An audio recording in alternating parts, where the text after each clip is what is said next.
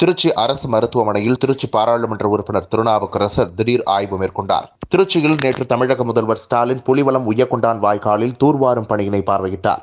இந்நிகழ்வில் திருச்சி பாராளுமன்ற உறுப்பினர் திருநாவுக்கரசு கலந்து கொண்டார். இந்நிலையில் திருச்சி பாராளுமன்ற உறுப்பினர் திருநாவுக்கரசர் திருச்சி மகாத்மா காந்தி தலைமை அரசு மருத்துவமனையில் ஆய்வு செய்தார். திருச்சியில் கொரோனா பாதிப்பு படிப்படியாக குறைந்து வருகிறது. இந்நிலையில் ஆக்சிஜன் வசதிகள் படுக்கைகள் மற்றும் மருத்துவமனை அடிப்படை வசதிகள் குறித்து திருச்சி அரசு தலைமை மருத்துவமனை தலைவர் அனிதாவிடம் திருச்சி பாராளுமன்ற உறுப்பினர் திருநாவுக்கரசர் கேட்டறிந்தார். பின்பு செய்தியாளர்களை சந்தித்த திருநாவுக்கரசர் கூறும்போது திருச்சி அரசு மருத்துவமனையில் அதிக அளவில் படுக்கைகள் காலியாக உள்ளது. இதனால் திருச்சியில் கொரோனா பாதிப்பு படிப்படியாக குறைந்து வருகிறது என தெரிகிறது. தடுப்பூசி திருச்சி மாவட்டத்தில் அதிக அளவு போடப்பட்டுள்ளது என அவர் தெரிவித்தார்.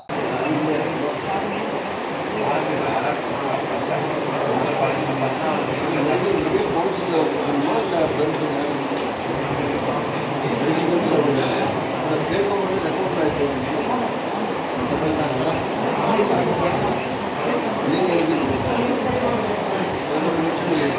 தினமும் காலையில் உள்ளூர் முதல் உலக செய்திகள் வரை தெரிந்து கொள்ள வாங்கி படியுங்கள். மக்கள் ராஜ்யம் தினமும் உங்களோடு. உடனடி செய்திகளுக்கு www.மக்கள்ராஜ்யம்.com டாட் மக்கள் ராஜ்யம் டாட் காம்